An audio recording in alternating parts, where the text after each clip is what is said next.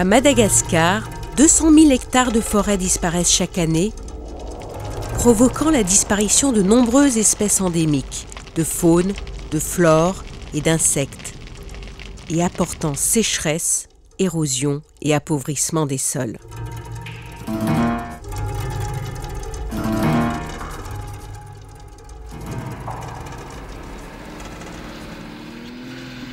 Après 30 années d'absence, Regula Auchner, une Suisse, a été bouleversée de découvrir qu'une forêt qu'elle avait connue en 1972 avait entièrement disparu, et ce pour la fabrication du charbon de bois.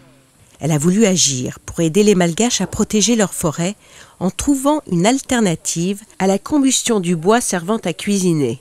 Son ONG, ADES, Association pour le développement de l'énergie solaire, naît il y a sept ans à Tuléar, dans le sud de Madagascar, et son entreprise remporte un vif succès.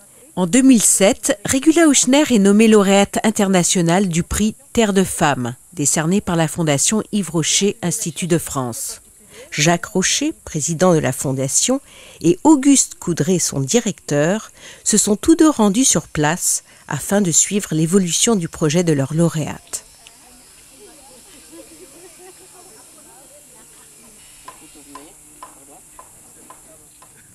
Un animateur Hadès montre à Auguste Coudray comment fonctionne le fleuron des fours solaires. Il chauffe vite, mais importé, son prix reste encore élevé pour la majorité des malgaches.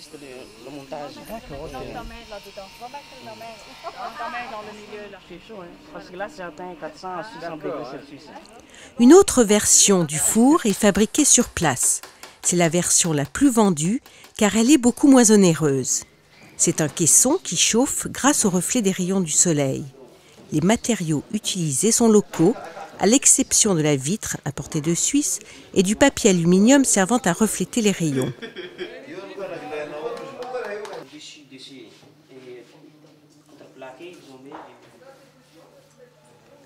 L'ONG a créé 25 emplois. Chantal Alain est la directrice d'ADES à Tuléar depuis sa création. Monsieur Germain est le premier menuisier à avoir été formé par l'inventeur de ces fours solaires, l'ingénieur suisse Édouard Probst.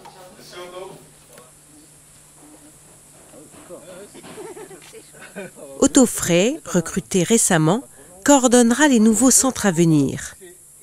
Regula Auchner vit en Suisse et s'occupe de la levée des fonds tout en exerçant le métier de psychologue. Cette nouvelle façon de cuisiner change peu les habitudes alimentaires des Malgaches. Ils prennent leur repas principal à la mi-journée et le temps de cuisson avec ces fours le permet. Voilà, ça c'est super. Ok, regardez-moi.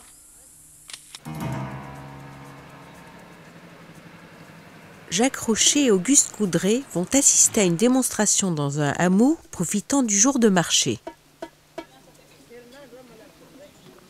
Ces marmites chauffées au bois ou au charbon, c'est ce que Regula espère ne plus voir dans un avenir proche. Aujourd'hui encore, son équipe doit se montrer convaincante en vantant les mérites du four solaire.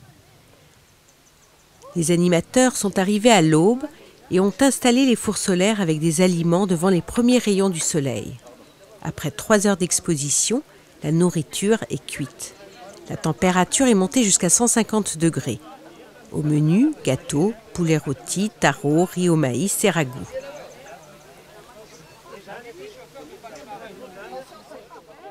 Si les femmes se montrent intéressées et certaines prêtes à essayer une nouvelle façon de cuisiner dans ces caissons, qui ont l'avantage de pouvoir aussi faire des gâteaux, les animateurs savent qu'ils doivent avant tout convaincre les hommes, car eux détiennent la bourse.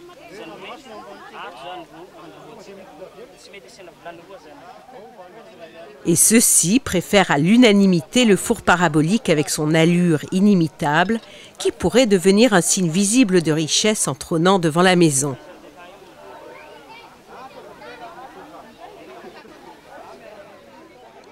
Le moment de la dégustation est très important. Le public peut alors constater que les aliments sont véritablement cuits et qu'ils ont somme toute le même goût.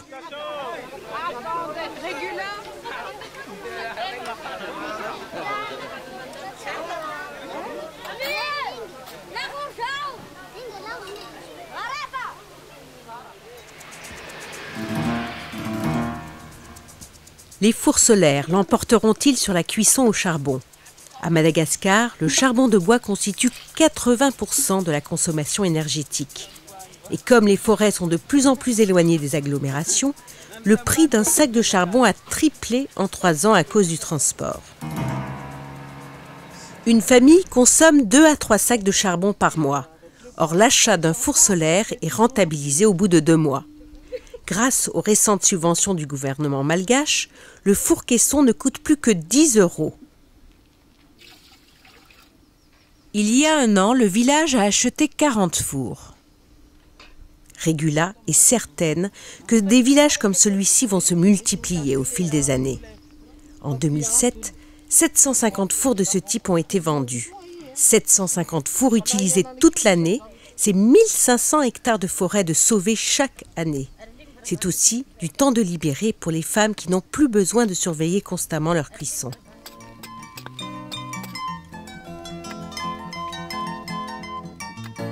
Et Régula utilise ce temps libre pour encourager les femmes au reboisement.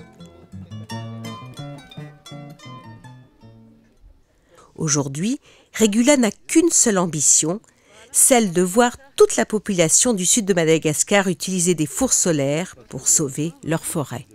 Et le reboisement est aussi une des actions majeures de la Fondation Yves Rocher Institut de France.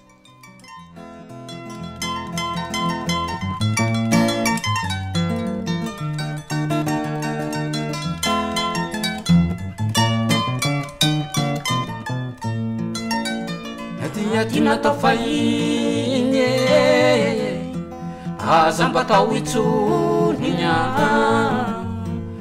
afikaazona mitsane ka aoka mba hifamena ry amina